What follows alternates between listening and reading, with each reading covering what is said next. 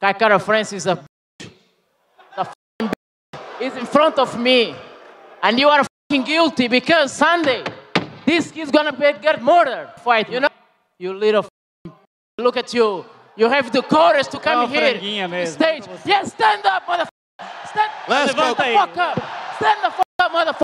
Throughout the course of their fight, Kape was largely in control, but Dos Santos had moments too, with particular striking success in round one and round three. But Kape kept on the attack.